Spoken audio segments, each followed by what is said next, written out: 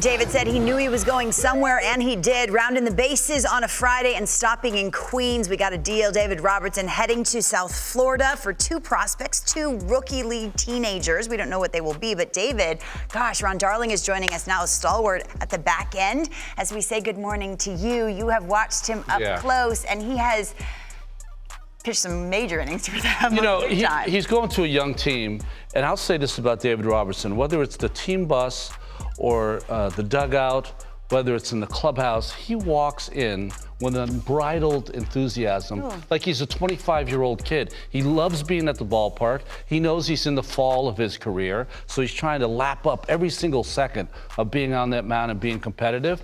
And I, I'm just saying, they they got a really good person. They got a really good pitcher having Yeah. a great year, and um, that's a good that's a good move for the Marlins. I like the Marlins adding right here, Yeah. giving Skip Schumaker a chance at the back end. They've been good. They're going to pitch their way to the postseason potentially. I think for me, the phone's ringing off the hook today if you're Billy Eppler. Because I can't believe you're punting. for who? Verlander and Scherzer. I'm calling on everybody. It- it- They're all up. I can't believe in this market, you said it, with the highest payroll in the history of the sport, you're going to reverse field and trade David Robertson for an 18 and a 19 year It- It's not only that that you're trading him three or four days before the trade deadline. If that is the case, then you're right. Everyone is calling today and said, "Well, I didn't know." Oh, I want do it now." Verlander. Okay, I want to know Let's what, what is doing. I want to know what they're all doing. Tommy Pham. Tommy, Tommy Pham. Pham. Just how about the idea that not just that they're selling, they just sold within the division to Right. the Marlins. Yeah. Like, just run the clock back. Spring training.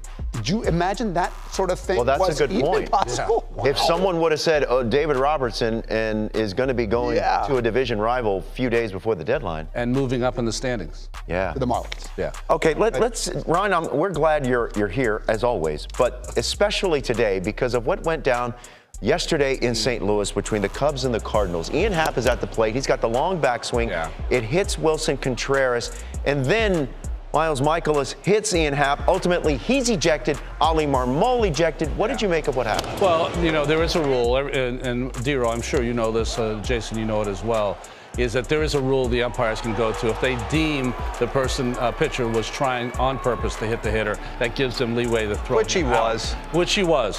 What the thing that needed to happen for Miles there, he needed to hit him with the first pitch. Yeah. Because if he hit him with the first pitch, so it would have been a warning. He would have Yeah. stayed in the game. It would have been all hunky dory. But he missed on the first pitch. That caused all this ruckus. I, I, I think to take all of this stuff just one more step further, should there be a penalty on hitters who That's interesting. Wow. And it seems to be the same kind of guys, right? That one arm finish, high, boom. I know Ian Happ's not trying No, to hit course an old not, of teammate, course but, not. yeah, it does happen quite a bit. I, I think for me, here's the game within the game, right? Let Ian Happ knew he was. Get, he turned his tush Yeah. before the ball even got there.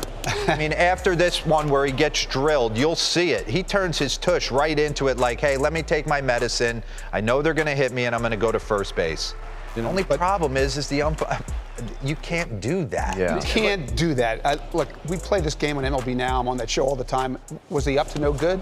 He was. Yeah. He Yeah. was up to no good.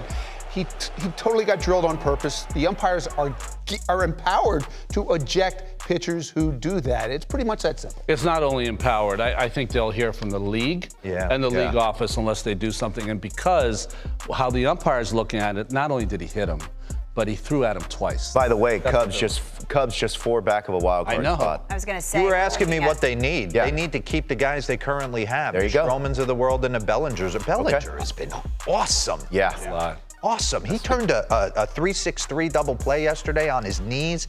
Gold Glover at every position. He's raking. I was watching the batting order yesterday, and the OPS it just stands out among the rest for Cody Can, can I mention something on them? Uh, I, like, I think they should Buy. they should go for it because of a couple things.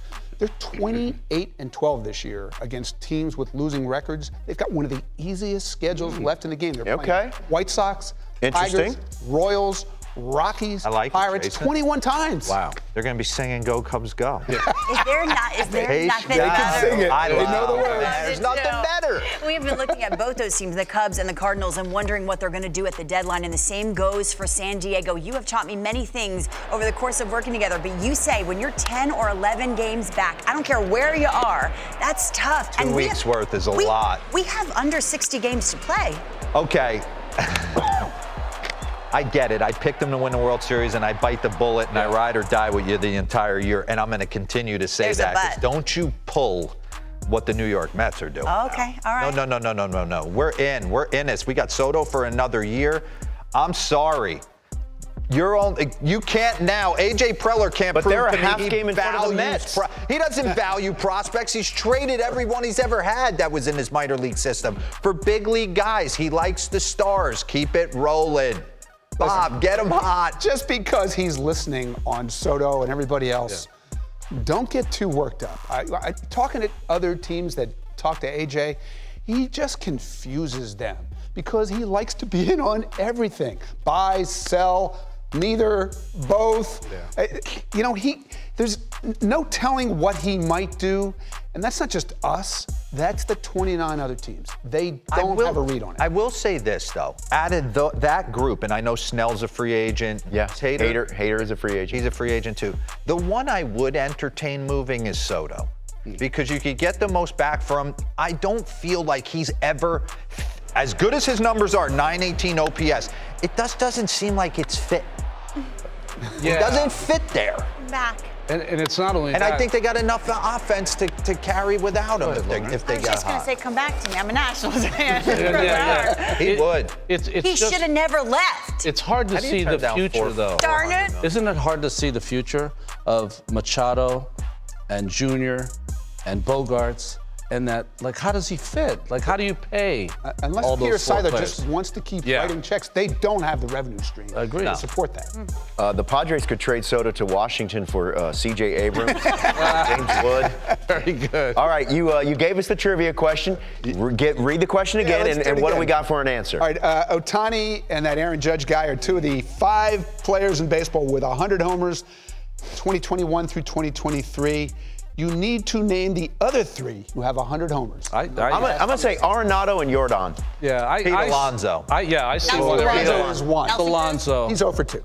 Ah, dang it. Matt Olson's got to be one. Matt Olson Matt is Olson. one. Nice. and nice. Kyle Schwarber. Kyle Schwarber is the Wow, other. Wow, look at good that. is Ron Darling? There you go, That was a Ron. good work. Yale. They're better on all of us. And at least. And at least. That's All what the same had see him division, do Central sure. Scribs yesterday. He cursed. I did curse. He did. we knew that was there. We knew that was there. What? Uh, look at this. Players with at least 100 homers the last three seasons. That is quite a list there. Shohei, Judge at the top, and some big time sluggers right behind. him. Shohei's done what Aaron Judge has done.